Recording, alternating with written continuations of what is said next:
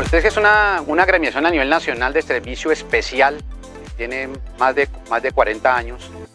eh, y hemos, los que somos, estamos agremiados, estamos, le hemos solicitado al, Consejo Directivo eh, abrir un capítulo en el Departamento del Atlántico, especialmente en la costa, porque nuestra problemática es diferente a la de otras ciudades. Aquí tenemos informalidad, aquí tenemos una situación muy, muy particular que tienen otras ciudades. Eh, nos han acogido en el Consejo y hoy eh, están ustedes presentes aquí en, el Consejo para que ustedes vean cómo se hace la apertura del capítulo atlántico, el cual va a estar, eh, digamos, agrupando eh, un gran número de empresas de servicio especial en la costa para que busquemos soluciones, para que trabajemos en pro de tener un servicio especial formal en unas mejores condiciones, la mejor calidad para que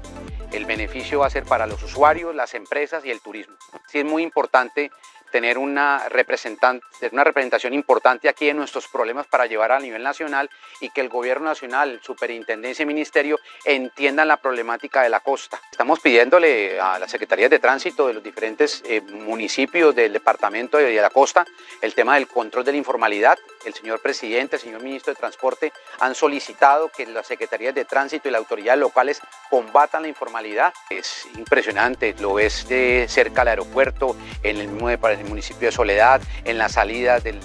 la ciudad de Barranquilla, carros particulares, empresas de otras ciudades, un descontrol total. Los usuarios tienen que ver ese tipo de situaciones para el tema turístico. Eh, las empresas pagamos unos impuestos, estamos registrados ante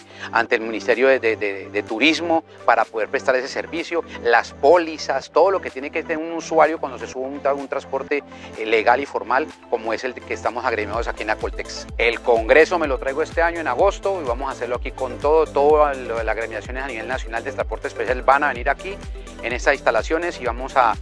tratar de que la, toda la, doctrina y la jurisprudencia que tiene que ver en transporte especial sea modificada. Vamos a invitar al Ministerio de Transporte, vamos a traer a la Superintendencia, porque necesitamos formalizar y dar empleo a, a todos los, los conductores y darle formalidad a este negocio.